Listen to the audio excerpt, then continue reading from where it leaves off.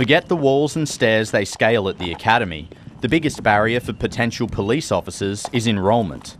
After a controversial year, the QPS has cancelled its December training intake for Brisbane because there aren't enough recruits. It doesn't matter the sector, the industry, the location. There is a challenge at the moment with getting staff. We've all got to admit that times are challenging at the moment. Specifically for the police service, after repeated heavy scrutiny.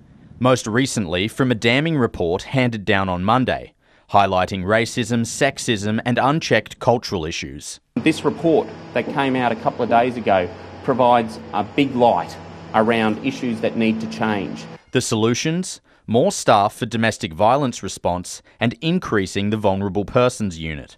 There are several hundred positions attached to that particular recommendation.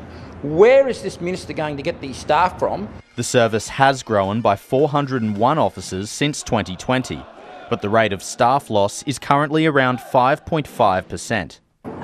The attrition rate normally sits around a three. The report specifically mentions burnout and the police service's struggle to retain female and First Nations staff. The government's promised 1,450 new officers by 2025. They've still got a thousand positions to fill.